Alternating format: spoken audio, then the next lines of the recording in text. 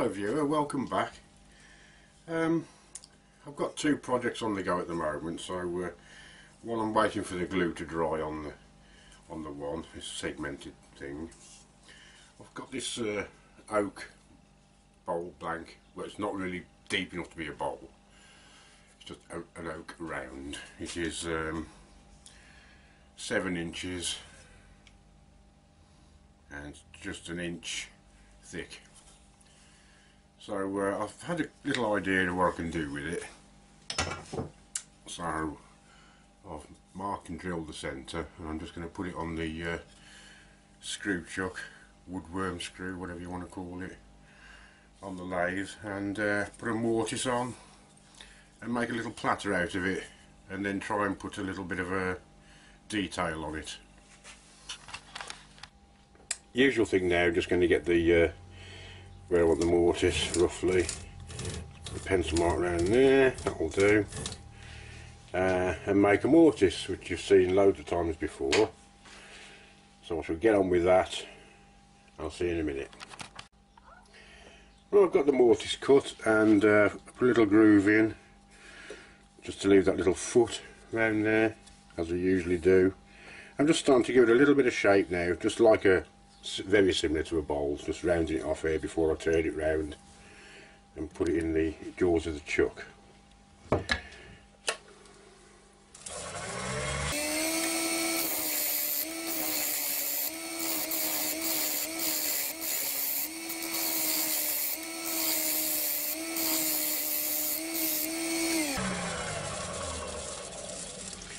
and I'll carry on with that till I've got it the shape that I want you've seen it before loads of times. It's just using this spindle gouge more or less on its side using it more or less as a scraper. In fact I might just go over to the scraper now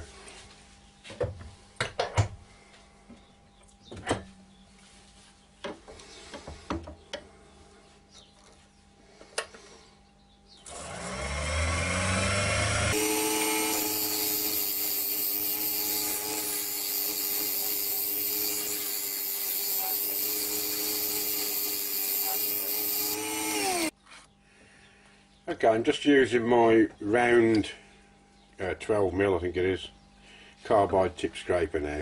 Uh, it is oak and it's very hard, so uh, I've gone onto the carbide tip and it's just shaping it off now before I turn it round.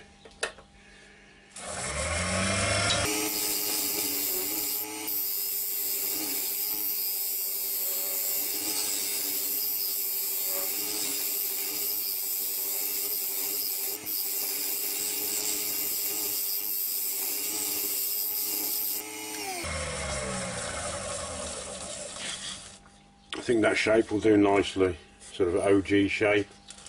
I'll give it a quick sand and polish and then uh, start on the other side. Right, I'm just going to face this up now, got it all turned round.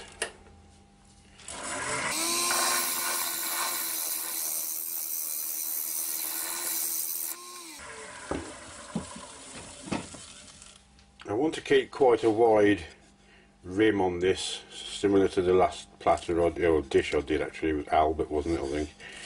So I'm just going to put a mark with this little diamond pointed carbide tip.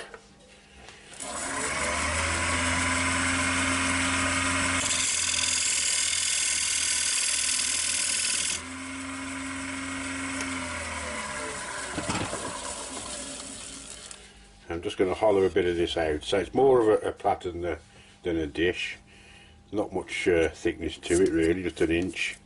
So I'm just going to give it a bit of shape anyway and then leave this and uh, I will be putting something round here.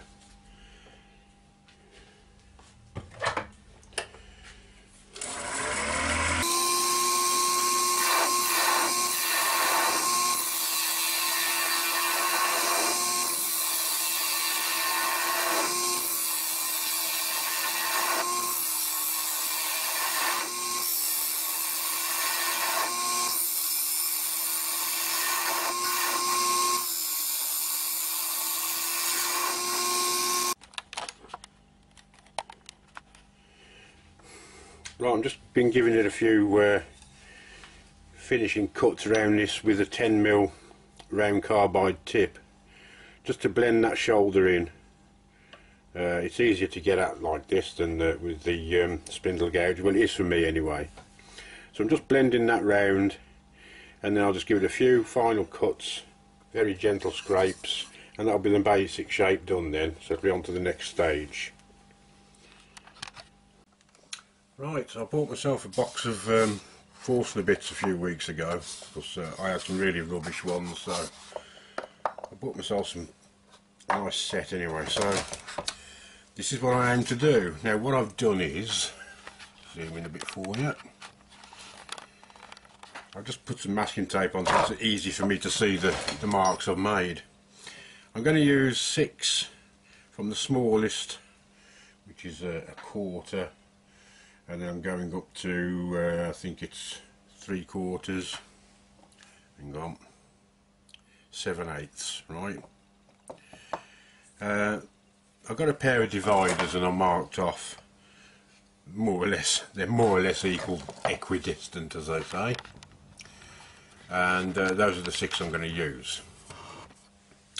When I've done that I shall repeat it by taking the small one over to that side and repeat the pattern. Then I'm going to fill them in. A bit daft in it drilling a hole and then filling it in but still you know there's method in my madness. So what I'm going to do is drill through I don't want to go right the way through the, the rim. I'll probably go down about um, a quarter of an inch with all these different sizes. So I'll see you in a bit Right, there's all the holes drilled out. Took a bit of doing because I did it by hand and I couldn't be bothered to go over to the pillar drill.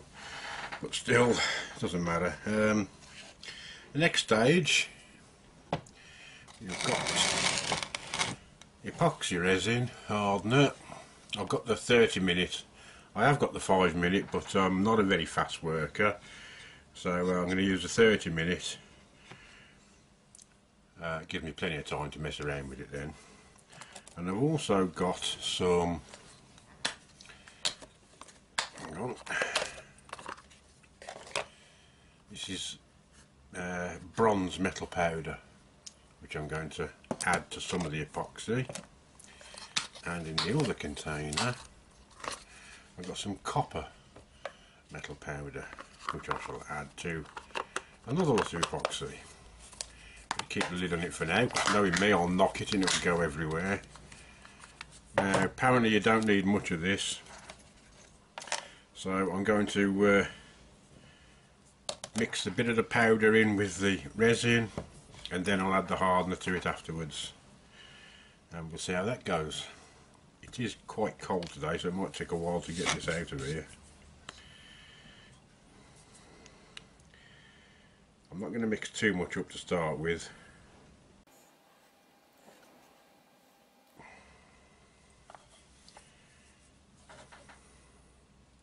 Put the top back on. Got my little mixing stick. Try a bit of this. Apparently you don't need too much of it. It goes a long way so we'll try, try that to start with. Well, it sure does colour it and I hardly put any powder in there at all so it'll last me for probably years that bit of powder I've got.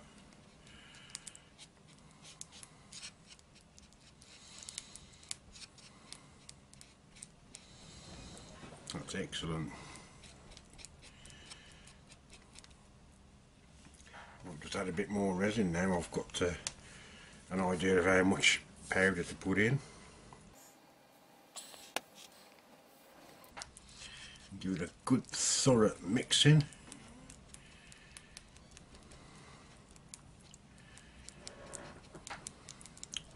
Lovely jubbly and add the hardener.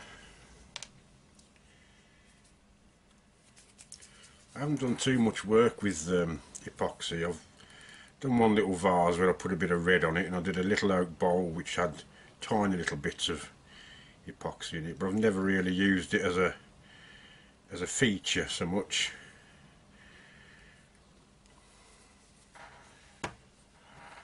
But uh, you know me, I like experimenting.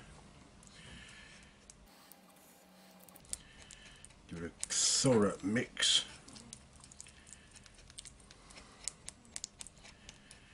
The powder's that fine, it's like it's like flour basically, it's really fine. Mixes in very well, I'm very pleased with that.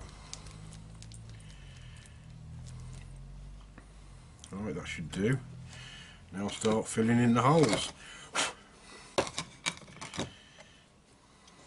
Take a dollop of it and uh, see what happens. Need to get it right in so it's best to mush it around a bit.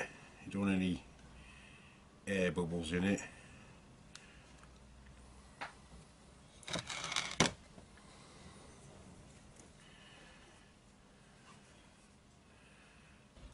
Going pretty close to the top of the, the holes but this is all going to be skimmed off anyway and back in the lathe so it's going to lose a bit of its thickness. Pushing it right down into the corners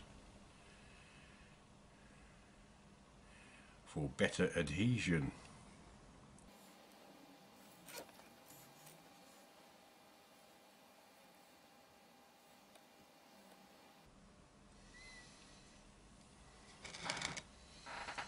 So on until you've got all the holes. Now I'm just doing six with this bronze and the other six will be with the copper colour. Exactly the same method. Just a different colour. There's lots of ways you can do it. You can alternate the colour. I just wanted to do do it like this.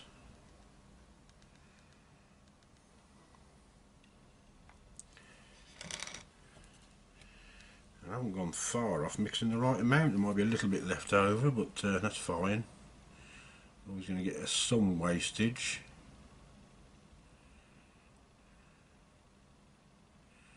Actually, I should have put it in a piping bag, you know, I used to be a chef.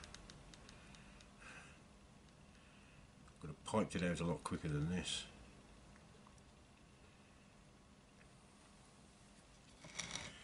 Mind you, would have probably ended up throwing it in the oven and into the tiny hole. Let's see if I can, oh yes, perfect shot. Scrape that off.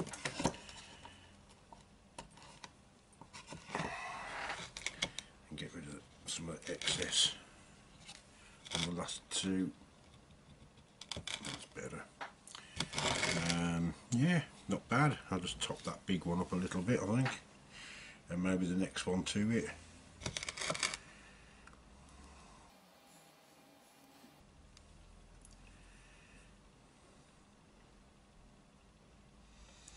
Least I know now I'm more or less on with the mix.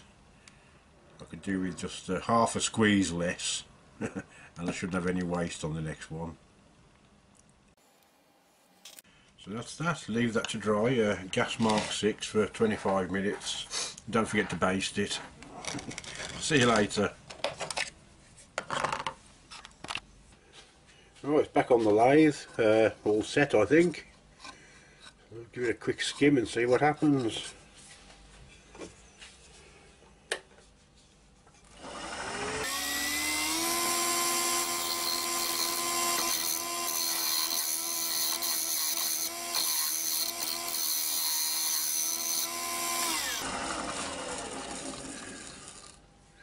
Oh, they're all still in there. I should carry on and uh, flatten it off then.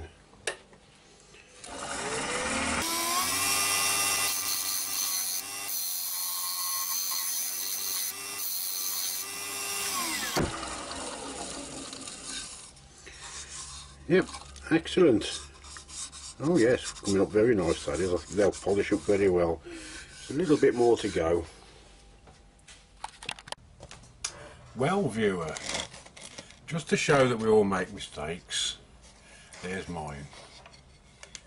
I went through. Um, nothing that can't be put right, but uh, I just tried to get it that little bit thinner. So I haven't bothered actually finishing it off totally yet, but I'm really pleased with the effect.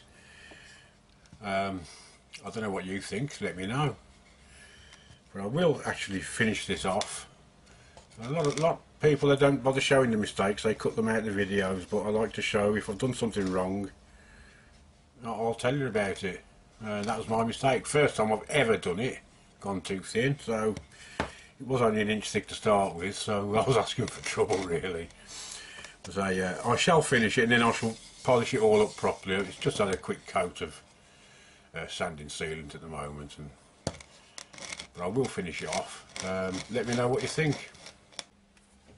Okay, um, this hole is from the wormwood screw. I haven't actually gone all the way through like I thought I had. There is still a little bit of thickness there. So I'm going to have a go at just making a little sort of mortise if you like in there and I shall fill that probably with some more um, epoxy. Let's have a go anyway.